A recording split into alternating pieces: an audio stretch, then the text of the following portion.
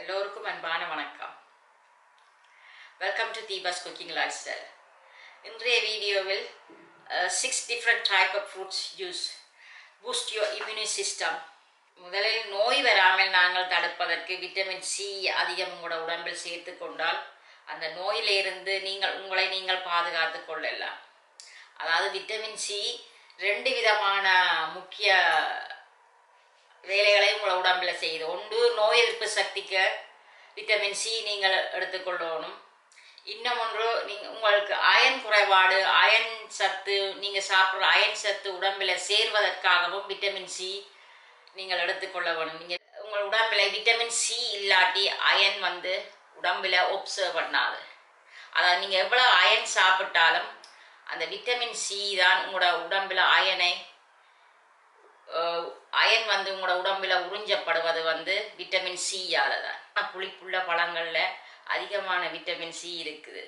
அதனால நீங்கள் இந்த விட்டமின் சியை தவறாமல் ஒவ்வொரு நாளும் ஒவ்வொரு பழம் வந்தாலும் ஒவ்வொரு நாளும் எல்லா பழத்தையும் சாப்பிட முடியாது. ஒவ்வொரு நாளைக்கு ஒவ்வொரு பழம் வந்தாலும் சாப்பிடுவதால உங்களோட உடம்புல விட்டமின் சி அதாவது விட்டமின் சி இருந்தால் உங்களோட இம்யூனி சிஸ்டம் சரியாக வேலை செய்யும்.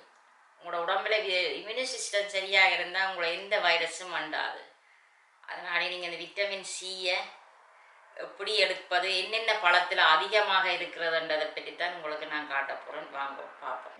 இதில் நான் ஒன்பது பழங்கள் எடுத்து வைத்திருக்கிறேன். அதில் ஆறு பழங்களை பற்றிய ஜூஸ் தான் உங்களுக்கு இப்போ செய்து காட்ட போகிறேன் ஆனால் அந்த மூன்று பழங்களை நான் உங்களுக்கு எதுக்காகன்றதை உங்களுக்கு காட்டேன் முதலாவது அன்னாசி பழம். இந்த அன்னாசி பழத்தில் இருக்கிறது அதிகமான விட்டமின் சி முதலாவது அன்னாசி பழ ஜூஸ் ரெண்டாவது கீபி ஃப்ரூட் அதாவது கீவி ஃப்ரூட்டிலே அதிகமான விட்டமின் சி இருக்குது. ஆனால் நீங்கள் இங்கே இங்கே கீவி ஃப்ரூட் இருந்தாலும் நாங்கள் கீவி ஃப்ரூட்டில் இருக்கிற விட்டமின் சியை விட கொய்யாக்காய் தேசிக்காய் அதுகளைத்தான் கூட பாவிப்போம். மூன்றாவது ஒரேஞ்ச் ஜூஸ் மூன்றாவது ஒரேஞ்ச் ஜூஸ்லேயும் உங்களுக்கு விட்டமின் சி அதிகம் இருக்குது அடுத்தது நாலாவது பேஷன் ஃப்ரூட் இந்த பேஷன் ஃப்ரூட்லேயும் அதிகமான விட்டமின்ஸ் அடுத்தது நெல்லிக்காய். இந்த நெல்லிக்காயில் ரெண்டு விதம் இருக்குது இந்த வெட்டு மாதிரி இருக்கிறது இது காட்டு நெல்லிக்காய். இதே கடையில் எடுக்க கிடைக்காம கொஞ்சம் காஞ்சது தான் எனக்கு கிடைச்சிது. இதில் இருக்க சத்து இந்த விட் ஒரேஞ்சை விட இதில் நாலு மடங்கு அதிகமான விட்டமின் சி இருக்குது இந்த நெல்லிக்காயில். அதை விட பல மருத்துவ குணங்கள் நிறைந்தது தான் இதில் இருக்கிற எல்லா பழங்களையும் விட இந்த நெல்லிக்காயில் தான் அதிக விட்டமின் சி இருக்குது. அடுத்தது பெசன் ஃப்ரூட்டில் நீங்கள் அதிகமான புளிப்பு இருக்கும். அதனால் பெசன் ஃப்ரூட் ஜூஸ் அடிக்கும் பொழுது அதற்கு நீங்கள் சிறுவர்கள் சின்ன பிள்ளைகள் குடிக்க மாட்டார்கள். கொஞ்சம் சீனி போட்டு ஜூஸ் அடித்து கொடுங்க. நான் இதில் எதுக்குமே சீனி சேர்க்கவில்லை. ஏண்டா பழத்தில் சுகர் இனிப்புத்தன்மை இருக்கும். அதனால் அடுத்தது மாதுளம்பழ ஜூஸ். பல நன்மைகள் இருக்குது சொல்வதற்கு டைம் காணாது. பல நன்மைகள் இருக்கும். மருத்துவம் சம்பந்தப்பட்டது. மற்றும் மூன்று பழங்கள் எடுத்து வச்சிருக்கிறேன். கொய்யாப்பழம் தேசிப்பழம் அதாவது அத்திப்பழம். இந்த கொய்யாப்பழம் எந்த சீசனுக்கும் எடுக்கலாம்.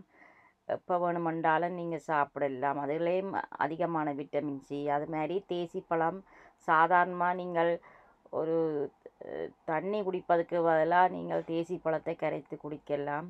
ஒரு நாளைக்கு ஒரு தடவையாவது தேசிப்பழம் கொய்யாப்பழம் நீங்கள் எப்போவுமே பாவிக்கலாம். இன்னும் ஒன்று இந்த அத்திப்பழம். அத்திப்பழம் வந்து திக் ஃப்ரூட் அதுவும் சீசனுக்கு நீங்கள் சாப்பிடலாம். அதிலும் விட்டமின் சி அதிகமான பழம் என்று சொல்லப்படுகிறது இந்த அத்திப்பழம். அதாவது அத்திப்பழம் தேசிப்பழம் கொய்யாப்பழம் இந்த மூன்றும் நான் ஜூஸ் அடிக்கவில்லை. உங்களுக்கு சா வெட்டி சாப்பிடலாம் தேசிக்காப்புளியும் நீங்கள் அடிக்கடி கரைத்து குடிப்பது தானே. அதனாடி அந்த ஜூஸ் ஐட்டத்தில் இந்த மூணு டைம் நான் காட்டிக்கொள்ளவில்லை இன்னும் ஒரு சின்ன வேண்டுகோள். நீங்கள் வைரஸ்லேருந்து பாதுகாப்பாக இருக்கணுமெண்டா வெளியில் செல்லும் போது கவசமாக மாஸ்க் அணிந்து செல்லுங்கள்.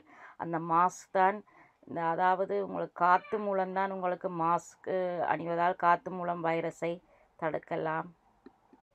அதாவது இந்த கொரோனா வைரஸ் என்பது எங்களுக்கு ஒரு பாடத்தை கற்று தந்திருக்கிறது.